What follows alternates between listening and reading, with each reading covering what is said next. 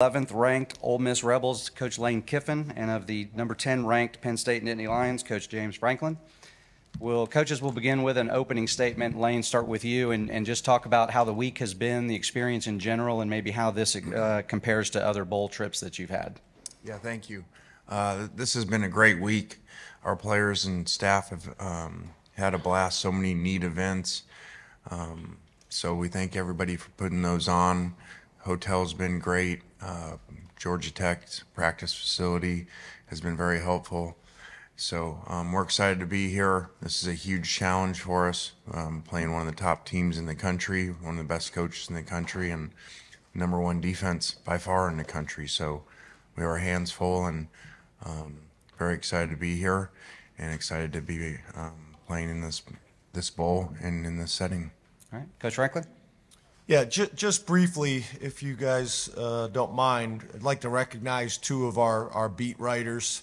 Uh, Pat Principe um, of WGAL TV has been covering Penn State for 34 years. And David Jones from the Harrisburg Patriot News has been covering Penn State for 33 years. Uh, both are retiring, and this is their last game. I'm not sure. Those guys here with us today? You mind standing up real quick?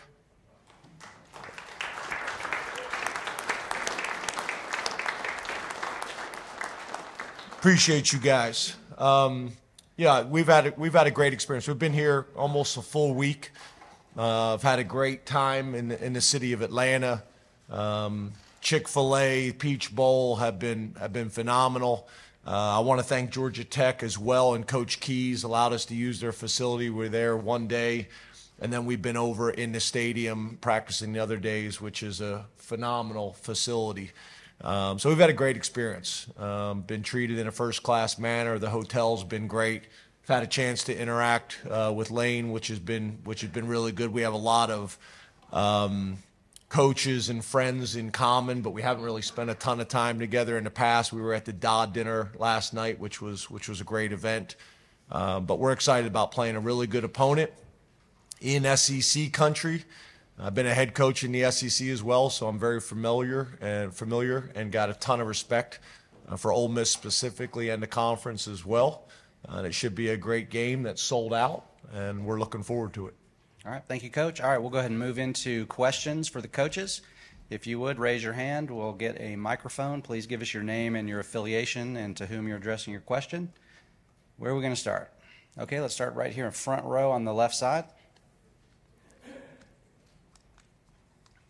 Hey guys, thanks for the time. Uh, Joe Smeltzer, Nittany Sports Now. Uh, James, now that we know that Saturday will be Adisa's last college game, what would you say about what he has meant to this program, and what's the biggest way you've seen him grow over his time at Penn State, whether that's on or off the field? Well, what I was happy about is that Adisa put that out on social media, and this was one of the few ones that Lane didn't didn't retweet with a smiley face because Adisa's playing in the game, so uh, that, that that was good. But um, yeah, Adisa's a, a great Penn State story. You know, um, kid out of Canarsie High School uh, in New York um, has really come here come to Penn State and thrived. I think you guys all know his story and his family. Uh, really maximized his time and experience at Penn State. Um, I think he improved his stock um, as a football player over his entire career, but specifically this year, I think he's going to end up getting drafted really high. Um, graduated from Penn State, really just did it right. Was you know we talk about high production, low maintenance guys all the time. He's he's a perfect example of that. Um, but I'm a I'm a big Adisa Isaac fan. His mom has been phenomenal through this entire journey as well. Um, and I think he's just a really good example. You know, I, I, I'm still a big believer in the, the college athletics model, and I think Adisa is a perfect example of a young man that that took advantage of that, and specifically Penn State. Um, and I'm looking forward to watching him play this last game. I think he's gonna. I think he's gonna play really well. All right, we'll stay on the left side, second row. Hey, right here. Um, Jared Parker, Six News. Uh, my coach is for Coach Kiffin. Uh, my questions for Coach Kiffin. Um, some of the Penn State uh, defensive players have taken note of your team's tempo, and I know uh, the Penn State defense versus the off, Ole Miss offense has been a, a topic of discussion this week. What do you expect the Penn State defense to kind of throw at you to disrupt your tempo uh, tomorrow? Well, maybe James will answer that question for us. Um, I don't know. I think it's very complicated um, with new coaches, um, with with Manny moving on. So I think everybody that first assumption is, oh, that's great for the opponent because the coordinator is not there. But that's also complicated because um, play callers have tendencies. So uh, we don't know what really to expect. Um, we know that it's a major challenge of uh, phenomenal players and a really good scheme, and and I don't think the coach matters as play caller.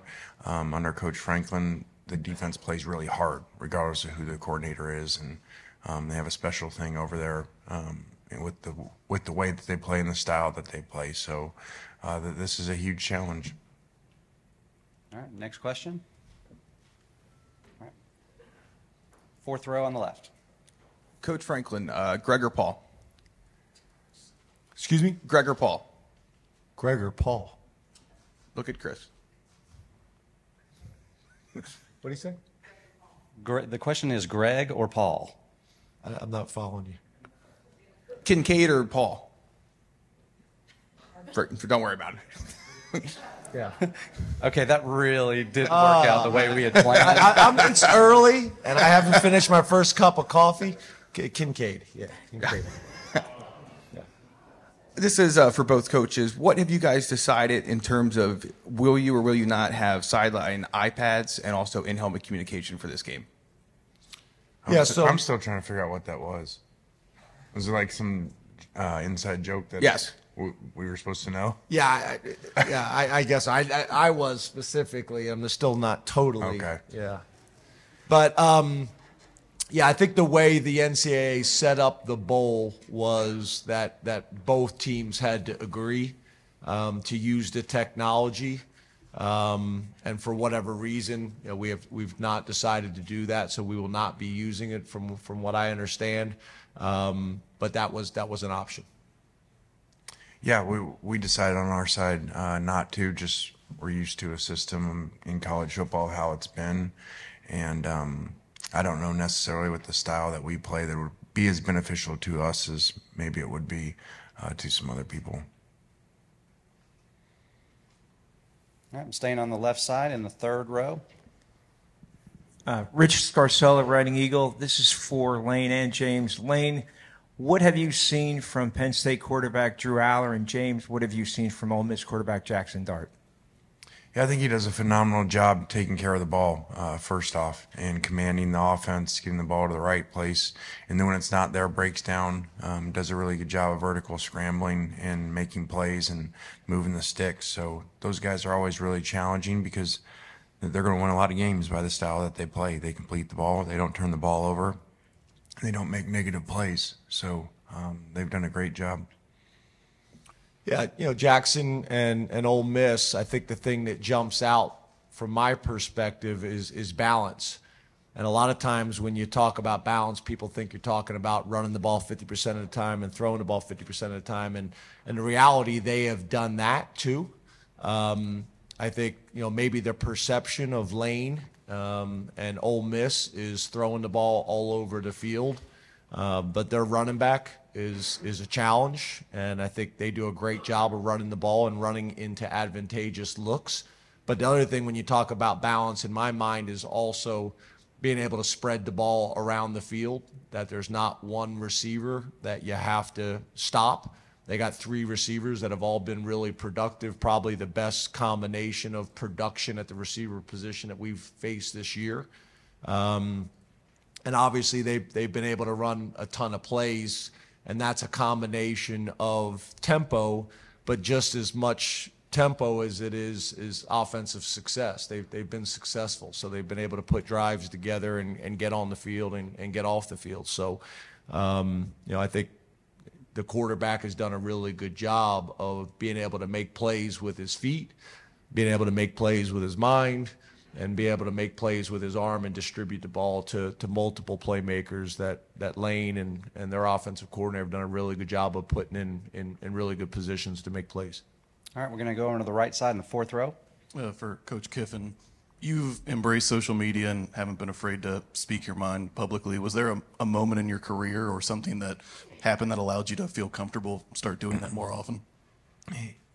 Yeah, actually, um, it started when a long time ago the NCAA uh, allowed us to direct message kids on Twitter, but we couldn't text on our phones. So um, that leads into a lot of rules that make no sense and ones that we live in now. But um, so really, that's why why it started. So as a as a coach, that was your only way to communicate um, in certain periods of the year, and then it kind of just grew from there. And and really just um, I think the reaction of you know you recruit so many kids out of your own area, no matter where you are, for the most part that.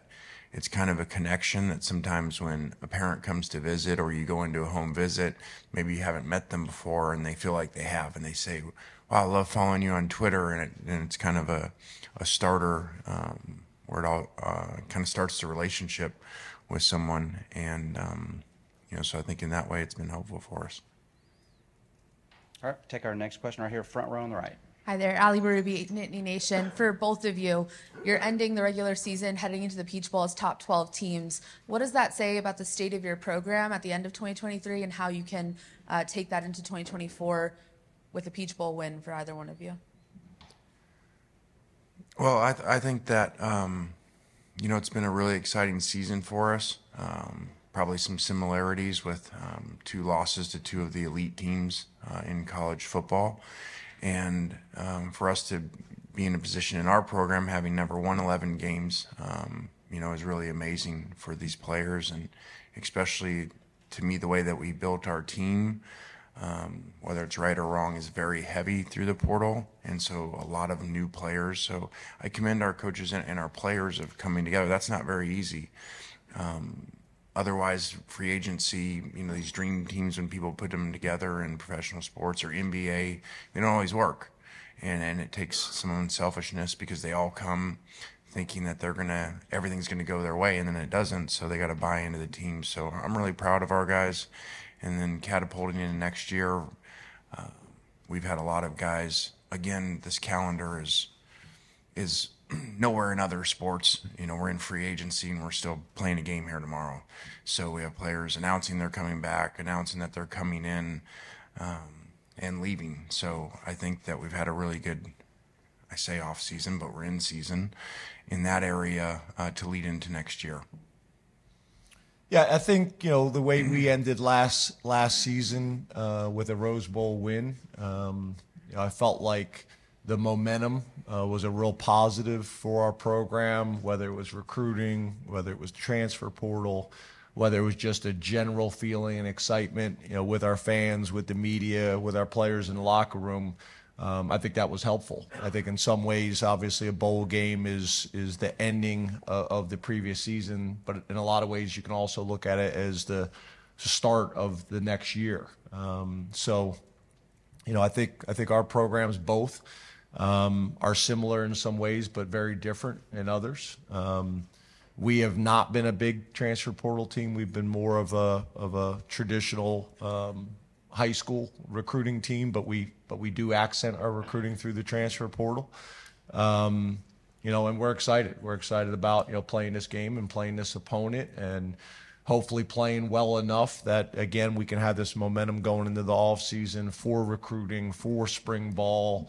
Um, you know, for the confidence that a lot of players that are going to play in this game that maybe haven't had as significant of roles um, earlier in the season. So I think there's just a ton of reasons why this game is important for both programs, and and um, you know looking forward to looking forward to playing it.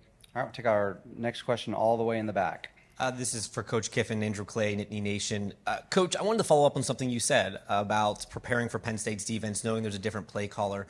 Uh, Anthony Poindexter has been a defensive coordinator at other places. Do you find there to be an advantage in studying how he's called defenses in the past at past jobs, or is that kind of irrelevant given that there's so many other circumstances?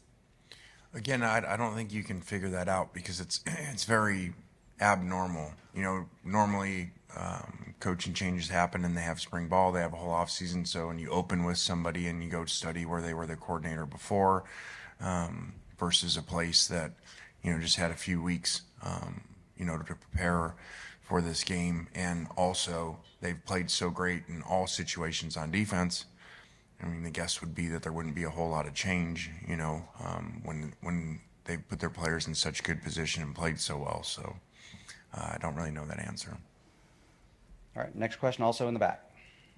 Hi, this is for both coaches. I'm Dave Jones from Penn Live, way in the back. Um, with the transience of the portal and opt outs, uh, just recently, in the last few years, have either of you guys embraced any kind of overall philosophy about keeping the team engaged, keeping everyone together? Has it been more of a challenge or not for, for bowl games and prep for bowl games? Yeah, you know, we were discussing it a little bit last night. To be honest with you, I think I think that's the challenge, right? This is this is new. This is new to all of us, and it's and it's really changed year by year. Um, transfer portal windows, uh, NIL. I think uh, all, all these things have changed. So I think that's one of the more difficult things. Is I think in in the previous structure you could kind of rely on on past experiences, but this has been a moving target.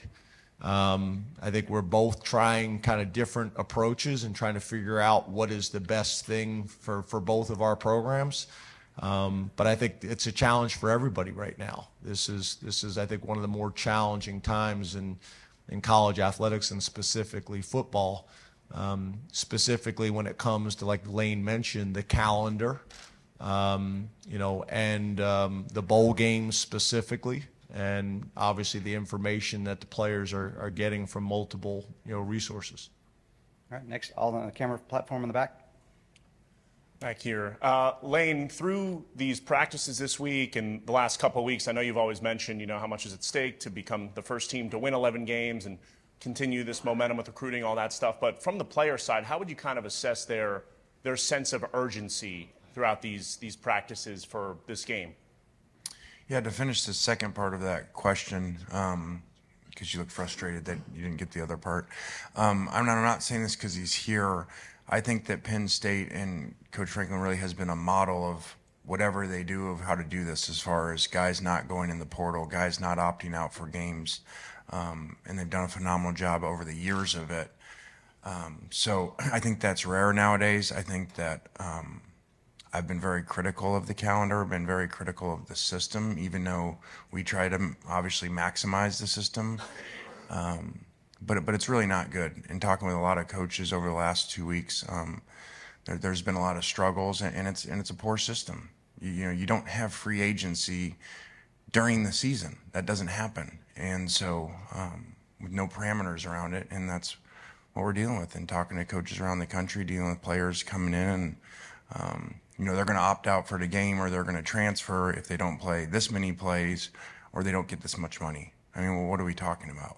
You know, um, so again, you got a system that is not going to get better till it gets fixed. It's going to get worse um, because ask NFL teams, um, you know, if they were getting ready to start the playoffs, would they ever put free agency right before it?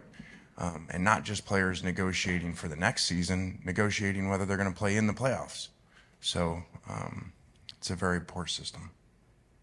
All right, next question here, back row on the right. John Sauber, Centre Daily Times. James, is Johnny Dixon with the team, and do you expect him to play on Saturday?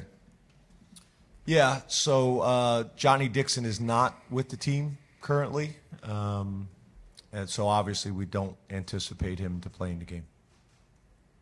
All right, staying in the back row on the right. Audrey Snyder with The Athletic. This is for both of you guys.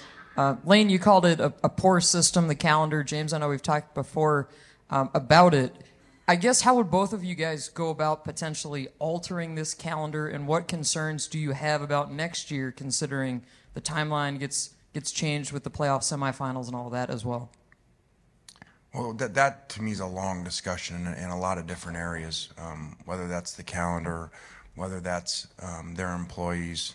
Uh, do they have real contracts? Do they have public contracts that we would all know what they were, um, you know, like professional sports. So um, to me, that that's a long conversation of a lot of different areas of a system that's that's very broke. Um, but again, I'm not complaining. Don't get me wrong. We try to maximize the rules and what they are to create the best team that we can, the most competitive team.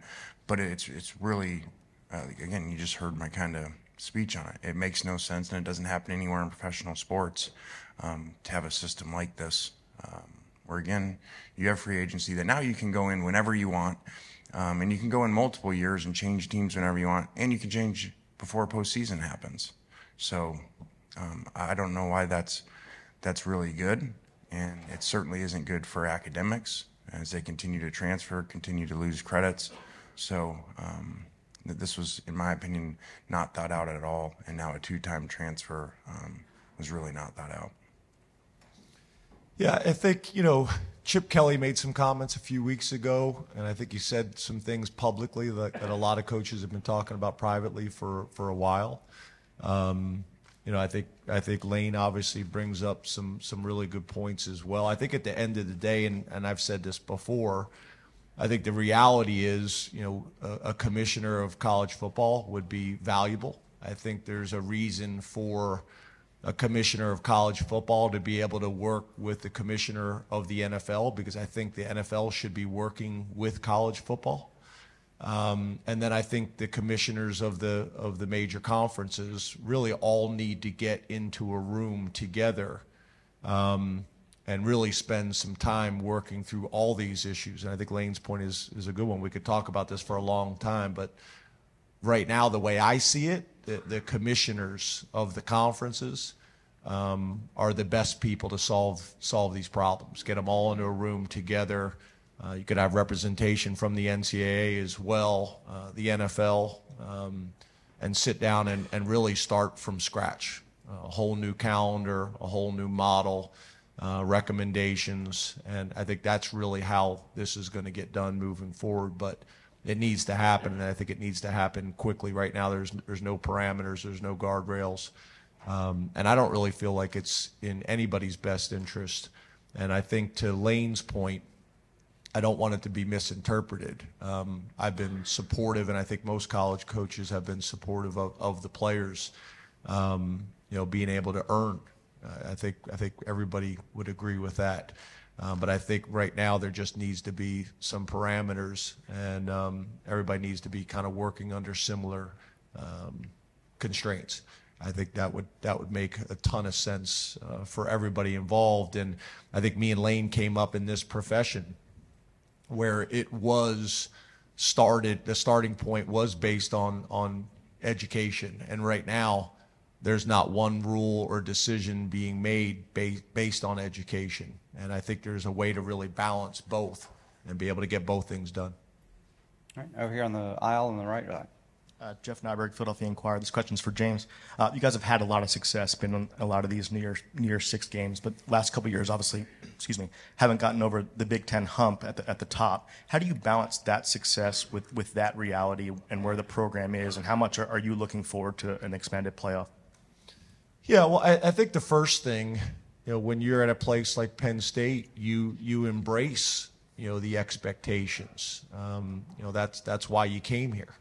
Um, and that's for our players, and that's for the coaches, and, and, and that's for myself. So, you know, we embrace the high expectations. Um, but I do also know um, that we take a lot of pride in the in the consistency and and how we've been able to play um, over the majority of our time at Penn State. And I think sometimes people take that for granted and don't realize how challenging that is in, in today's college football. So um, for us, it's it's being appreciative and recognizing what we have done well, but then also taking a deep dive and, and being very, very transparent um, and saying where do we need to grow, how do we get better, and, and how do we attack those things. And I think one of the things I've been pretty vocal about is you know really our first year um, with alignment you know from the chair of the board to the president of the university to the athletic director who played football in the Big Ten uh, and myself. Um, this is a this is a situation really in my 10 years that we have not been in, and I think that's that's going to put us in a, in a in a very powerful position moving forward. All right, all the way back in the platform. Joseph Doring, WLBT. Coach Kiffin, uh, your career has taken you from West Coast to East Coast. Now, obviously, here at Ole Miss, you've had a lot of experience in these past two decades. But just to be able to get here today, if this if it were this time next year, we would be talking about a playoff. But right now, if you'll just take me through what it's like to be a head coach and how you got here to this point. well, I've, I've been very fortunate and, and, blessed to have a lot of opportunities. Um, grew up in the profession with my dad and um, got a lot, a lot of opportunities because of that. And then to be able to work for some amazing coaches and be offensive coordinator on national championship teams for Pete Carroll and Nick Saban. Um, so I'm very fortunate that way. And, um, and then just been able to um, continue to grow and learn. I think that you know, there's probably a lot of things I don't do well or we don't do well as a program, but I think we do evolve well and we change and um, we think outside the box. Uh, you know, change with the rules, whether that's you know the plain rules of of the game and our offensive system, or whether that's the portal and transfers and NIL. So um, I credit our coaches a lot with that. All right, right side, about halfway back.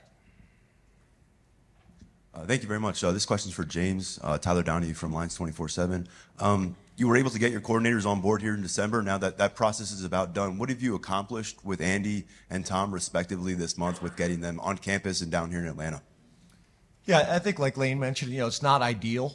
Um, obviously, we'd prefer to be in a situation where, um, you know, our staff was still still in place.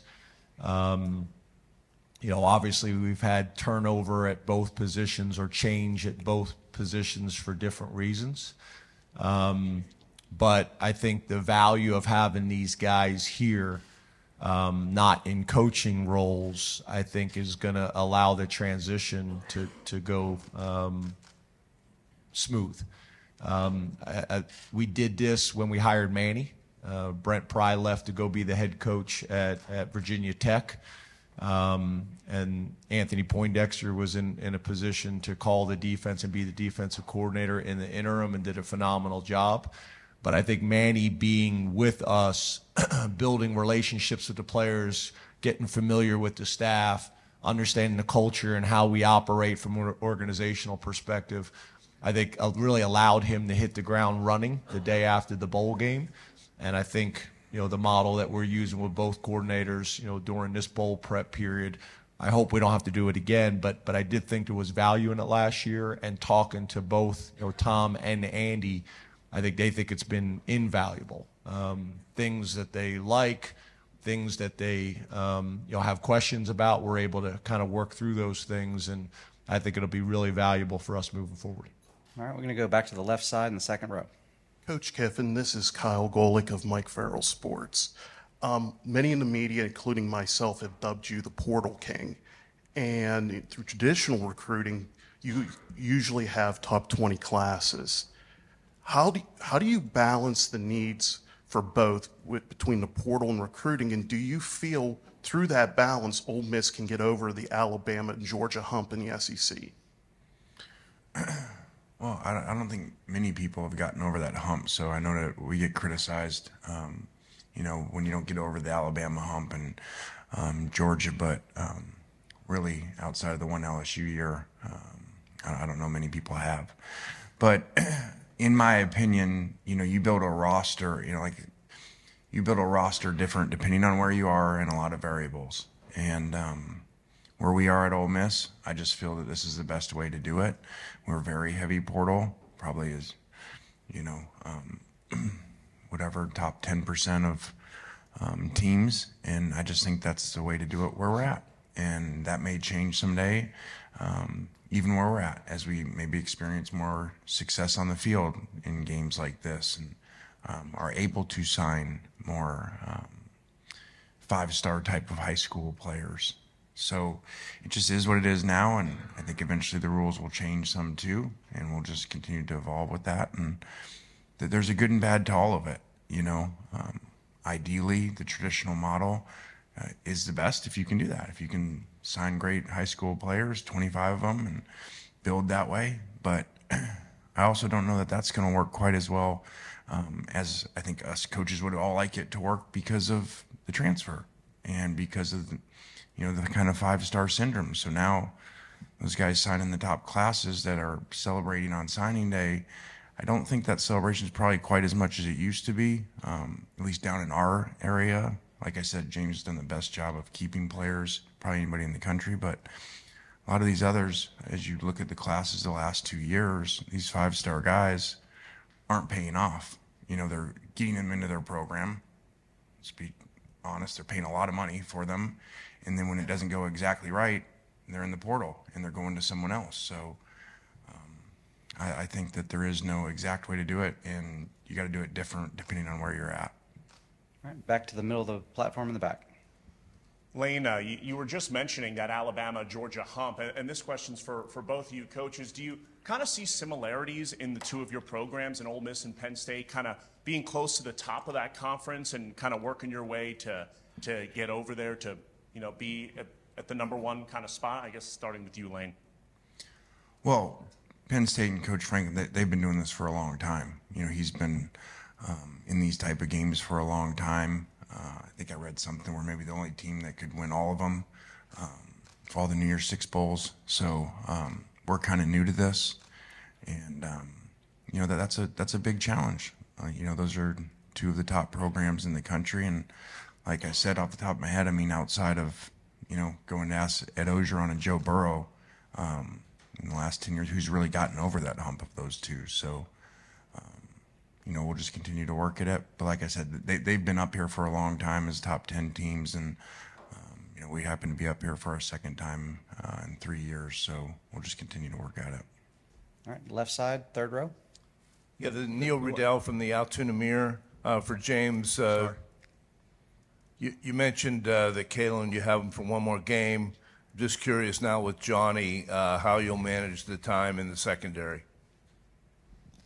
Uh, how we'll manage the time the, and the playing time. Who else are you counting on in the secondary? Yeah, we'll, we'll we'll play all the other guys that have that have played this year. They'll have a more significant role. Um, you know, I think you know that's going to be in some ways an opportunity and an exciting opportunity for them and for us. Obviously, it's going to be challenging because the type of wide receivers and offense that we'll be playing. Um, but these are the guys that we're also going to be, you know, depending on you know next season. So uh, it creates you know some more opportunities in this game, and and we've embraced it with a next man up mentality. And again, you know, we're not the we're not the only program that's that's dealing with a little bit of this. I'm sorry, Coach. Did I step on your toes there a minute ago? Did you want to address that previous question? Yeah, I think there was a previous question, but to be honest, now I forgot what it was. About getting over the hump. Oh yeah. So um, I, I, think in a similar way that that Lane mentioned it, I think up till the last two years, we were the only other team in the Big Ten that have, that had won a Big Ten championship. Um, so it, it is challenging, and and um, but I also think there's that fine line of of what we've discussed is. Uh, winning 10 games, winning 11 games in a conference like the Big Ten uh, or in the SEC. Um, is is more challenging on a consistent basis than than I think people realize.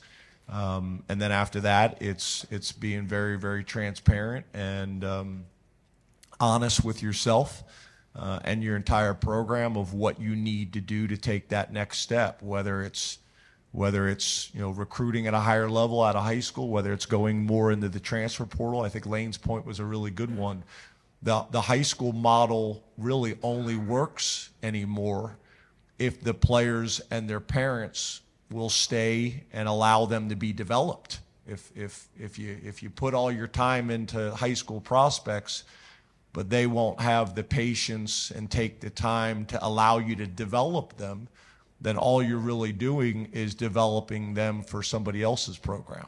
So that's that's the challenge. You know, I hear high school coaches and, and sometimes players being frustrated that some programs are being more portal heavy. Um, well, I think that's part of the discussion that needs to happen. Are you gonna are you gonna come here and, and allow yourself to be developed over four to five years? Um, the problem is none of them see themselves that way. They, they all think they're going to be the the three year model. So it's challenging, and I think all of us have to look at our programs uh, specifically and the regions of the country that we're in and, and, and what's going to be what's going to be in our program's best interest moving forward. Uh, and they're not easy discussions. All right, we've got time for a few more. We'll go next to the front row on the right. Hey Lane, hey James. Uh, Megan Hall with USA Today and For the Win. I uh, wanted to ask both of you these questions because I asked your players and your staff, no pressure because they had great answers, so I'm counting on both of you. Uh, James, for you, Wawa or Sheetz? Mm. So that's, you're putting me in a tough spot. It's kind of like uh, we're in central, for everybody in here that maybe you know doesn't cover Penn State closely, we're in central Pennsylvania. So right in the middle, middle of the Eagles and the Steelers. And I grew up just outside of Philadelphia, so I'm a Wawa guy. But now I live in central Pennsylvania, and it's Sheetz. Lane's looking at me like I'm crazy. He probably doesn't know what Wawa or Sheetz is. Um, but I, I think I, I got to stay with Wawa. I got to stay with my roots and uh, kind of where I grew up. Um, but I have really um, learned to appreciate Sheetz uh, being in central Pennsylvania. All right, Lane. So And, I, and I'm willing to negotiate if Sheetz or Wawa would like to work with our players moving forward uh, with some NIL opportunities. I think uh, I'm, I'm willing to negotiate. And if they don't, if they don't, you know, respond to his negotiations the way he wants, he's not going to coach the game tomorrow. So. that's what we deal. That's what we deal with now. Uh, All right, Lane. Question for you is: I obviously know you're a huge Taylor Swift fan, and I asked your team about it. Yeah, I just saw you blink. I know. I'm sorry, um, but I asked your team what their favorite Taylor Swift song. So that same question to you, and can you sing it for us? I can't sing, and nor will I right now. Um, Lane, we all think you should, though. I know, I know. Um, I, I don't know. She's got a lot of great songs. I just think she's really amazing that she can connect to so many people. And, um, you know, I kind of think a lot of times movies, songs nowadays, it's like how fast can people pump them out and make money? And I feel like um, hers, she takes a lot of time and there's a lot of meaning in them and they can relate to a lot of people. So um, I don't know that I can pick just one. All right, we're going to go left side, about five rows back. Uh, question for both coaches. Uh, Shane Thomas with CNHI. Um, James, uh, you talked about the Martin Luther King uh, Museum for your players and that experience. For you, um, how how has that experience been for you, and, and how significant is it for you? And Lane, uh, what what has kind of been your your favorite experience from the bowl so far? Yeah, you know, it's interesting because it's it's kind of going back to you know what we talked about earlier with I think the challenge with college athletics and specifically college football. And when we got into the profession, a huge part of that was the educational component, and I think that's being de-emphasized with a lot of the rules that are that are being passed. Um, or changes in rules that are that are being passed. And I think whenever you can take time with your team to pour into them experiences uh, and opportunities like being able to go to the Martin Luther King uh, exhibit was powerful. You know, I think the bowl, you know, had it as an optional experience. We we made it kind of mandatory for our team. We didn't tell them that it was optional. We just kind of put it on the schedule and went. And I think it was great for all of our players. I know it was great for me personally, as much as I, I feel like I knew a ton about Martin Luther King and the background and the significance for our country uh, and race relations. You know, I learned a ton myself at, at 51 years old um, that I didn't know. And being able to go into the Ebenezer Baptist Church and take that all in was, was powerful. Um, to think about that time in our country as a black man at 35 years old uh, to win the Nobel Peace Prize is is is amazing.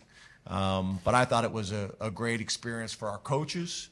I think it was even more pow- powerful for our players. A number of our players had been there before, um, but also I think through the bowl we were able to get maybe a, a, a different and more significant experience with the tour, uh, which was also great and and very very appreciative. So.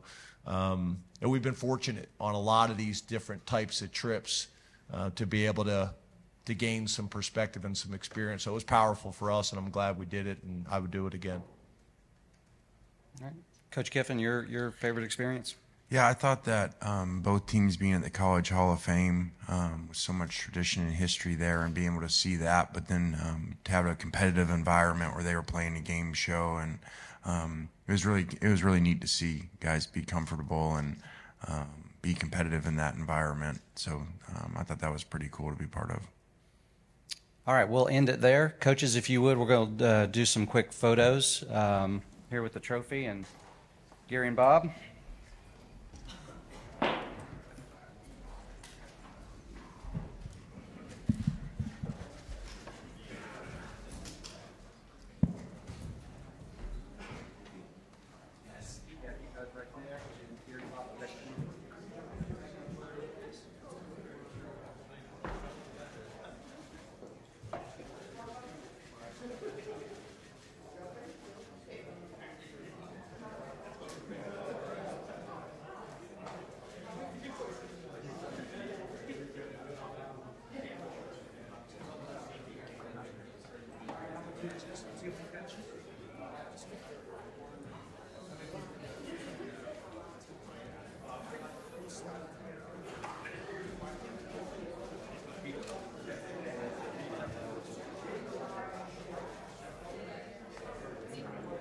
All right, couple, couple more.